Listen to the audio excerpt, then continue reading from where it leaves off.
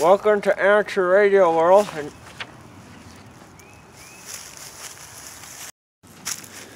Welcome to Amateur Radio World. This is W4ARW. My name is Joshua, and today I'm going to be walking you through my installation of the MFJ 2010 off center-fed dipole.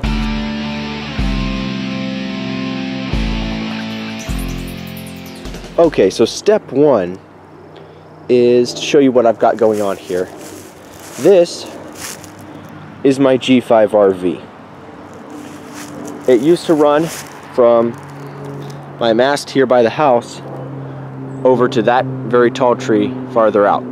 Now, I have some acquaintances who call G5RVs extended dummy loads. That might be a little bit of an understatement, but it's definitely not the most effective antenna because of the 2 to 1 SWR on all the bands. Now, I'm a more band restricted person. I don't actually travel much outside of 40, 20, 10, um, 15, 17, just basic bands. I don't do anything on 12, don't do anything on 60, nothing on 160, and hardly any ever 80 meters.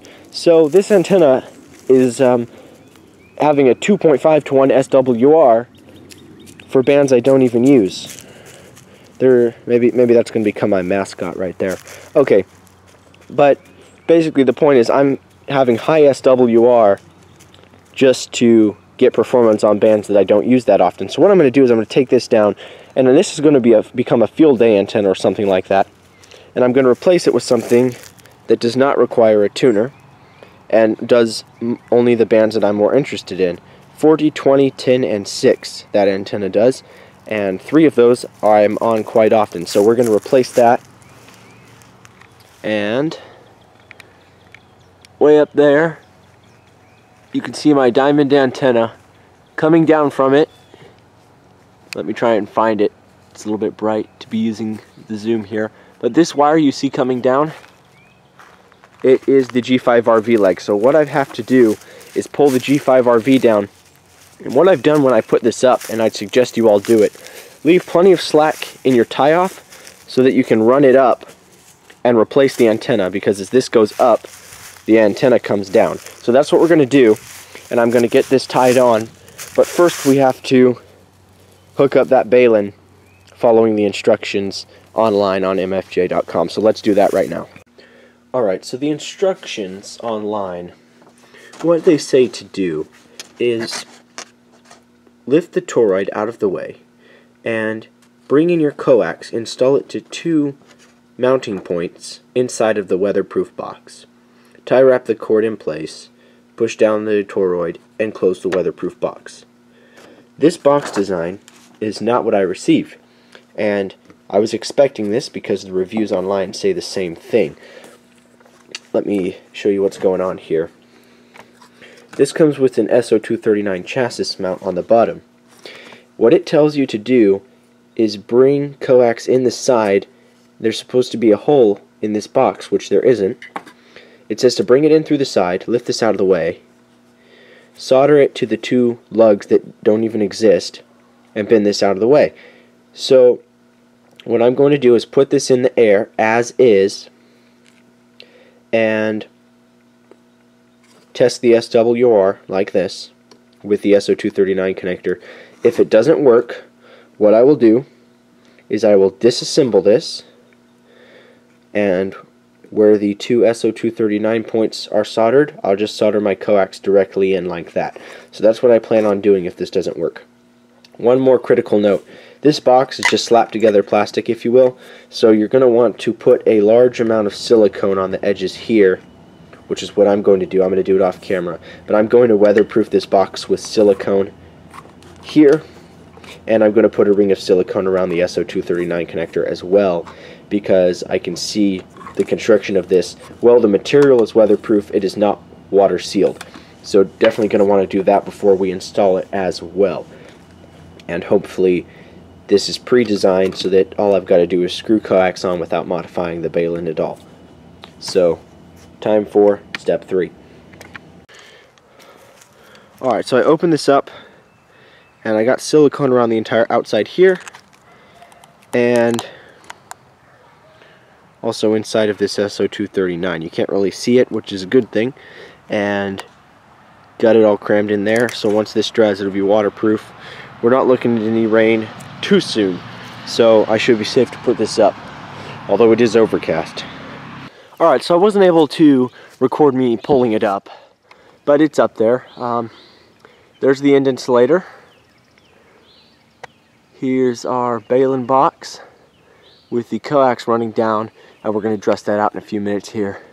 That runs to our mast which um, this black wire here is a guy wire and then our mystery dipole runs out here. You can see it's balun. And those are the two HF antennas I've got mounted to the mast. So there's two antennas, a ground wire, and three guy wires coming off the mast. And then this beam I've just been working on and testing. It's not in its final spot. There's too many trees around here to have it rotate freely.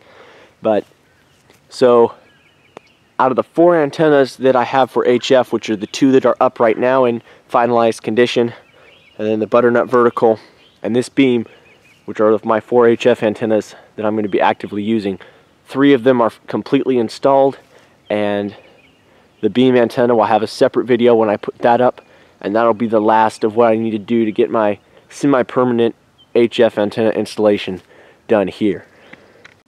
Alright, so here's the bottom of 40 meters. It's 1.14. And about the middle, I'm sorry, that's not the middle. Somewhere about the middle, it's about 1.13. And then we exit the band at 1.5 to 1. This is a little bit higher than I measured it previously. It seems like conditions do have a little bit of effect on the SWR of this antenna.